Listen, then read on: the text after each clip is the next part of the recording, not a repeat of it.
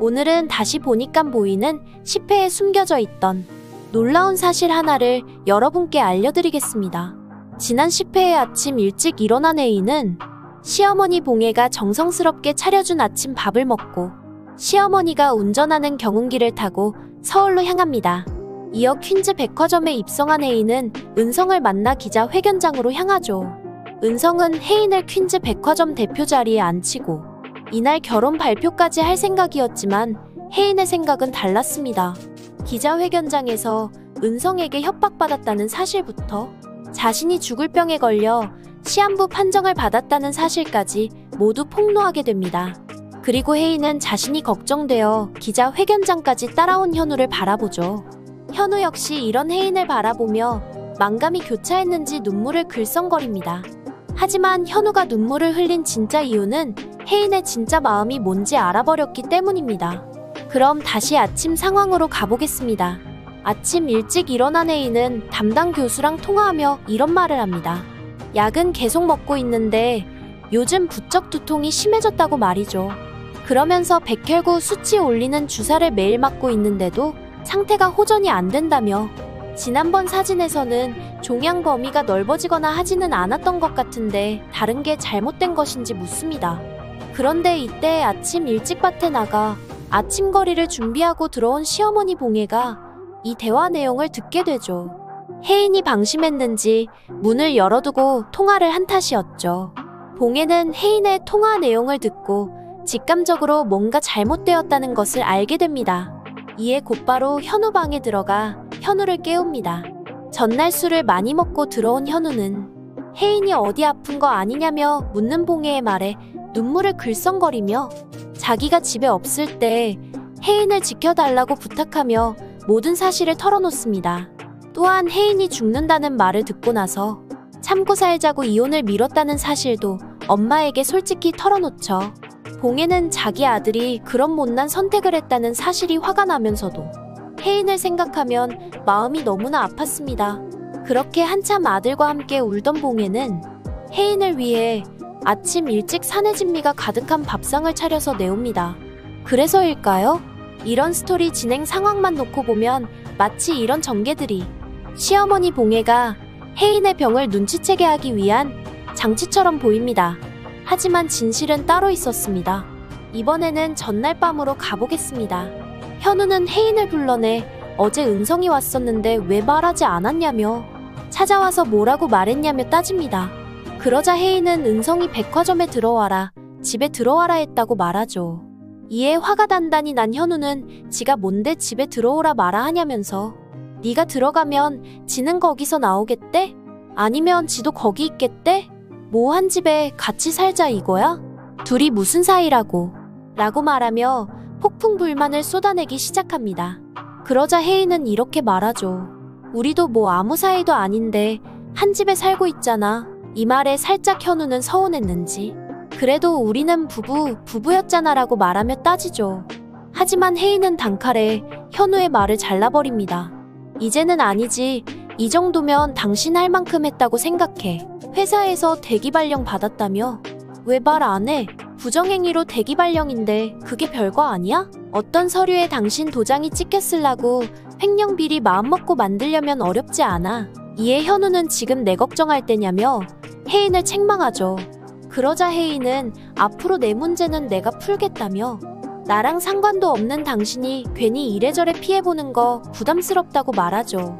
하지만 현우는 이 말이 정말 서운했습니다. 뭘 그렇게까지 선을 그으냐면서 난 너를 위해서 그런데 왜 그러냐고 말이죠. 그러자 혜인은 날 위해서 뭐든 안 했으면 좋겠다며 난 나대로 방법을 찾을 테니까 상관 말라고 말합니다. 그런데 사실 혜인이 현우에게 이런 독한 말을 한 이유는 모두 은성의 협박으로부터 현우를 보호하고 싶었기 때문이었죠.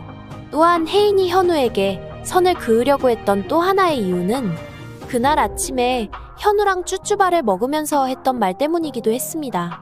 혜인은 사실 자기가 죽기 전에 현우를 단념시키고 싶었으니까요. 하지만 현우는 그런 혜인의 마음을 더 흔들어 놓았죠. 즉, 이혼을 해서 남남이 됐더라도 혜인이가 현우를 위해 뭐든 할 수 있는 것처럼 현우도 그러리라는 걸 그날 아침 직감한 것입니다.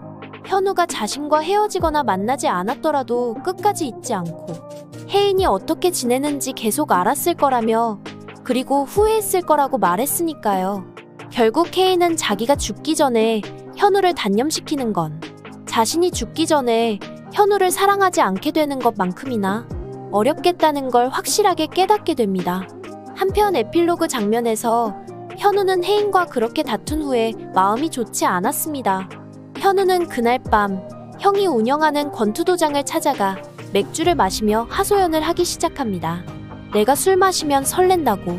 혜인이가 그랬는데 지금도 그럴까? 내가 취해서 귀여우면 혜인이가 설렐까? 그러자 형은 그랬으면 이혼을 안 하지 않았을까? 라고 말하죠.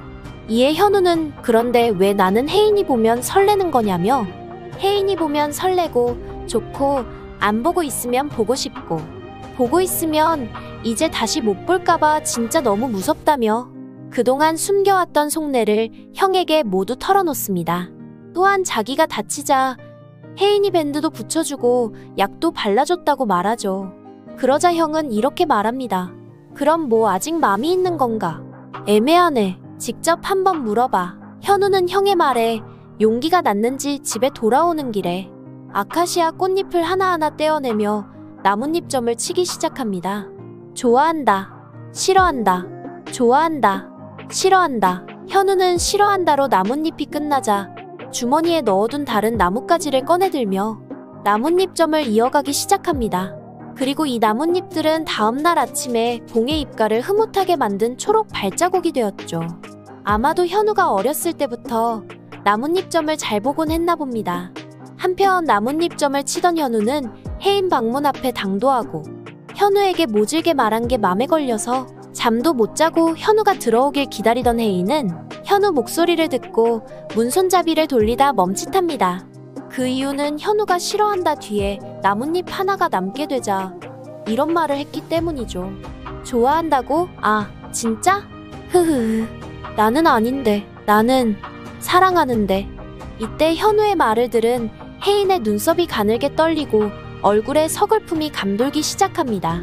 그리고 현우 역시 이내 미소가 가득했던 얼굴은 사라지고 눈가엔 눈물이 차오르기 시작하죠. 그렇게 혜인은 차마 문을 열지 못하고 못 박힌 듯 서서 닫힌 방문만 바라보며 잠을 제대로 이루지 못한 채 아침을 맞이하고 맙니다. 다음 날 아침 일찍 혜인은 늘 닫혀있던 방문을 열고 아직 출근도 안 한 담당 교수에게 전화를 걸어 자기 몸 상태를 자세히 설명하기 시작합니다. 그동안 담담하게 죽음을 받아들일 것 같았던 혜인의 행동과는 너무나 다른 행동이었죠. 이처럼 혜인이 뜻밖의 행동을 보인 이유는 단 하나였습니다. 전날 밤 현우에게 사랑한다는 진심을 듣게 된 혜인은 너무나도 살고 싶어졌기 때문입니다. 즉 혜인은 이 순간 현우와 정말 오래오래 함께 살고 싶어서 의사에게 자신을 살리고 싶다는 의지를 강하게 드러내기 시작한 것이죠. 지난 8회 에필로그에서 현우의 진심을 듣고 진짜 살고 싶다는 감정이 느껴졌던 것처럼 말입니다. 이후 혜인은 결심한 듯 아침 일찍 시어머니 봉혜가 차려준 밥을 먹고 서울로 향합니다. 그리고 은성을 만난 뒤 기자회견장에서 모든 걸 폭로하고 현우만을 응시하게 된 것이죠.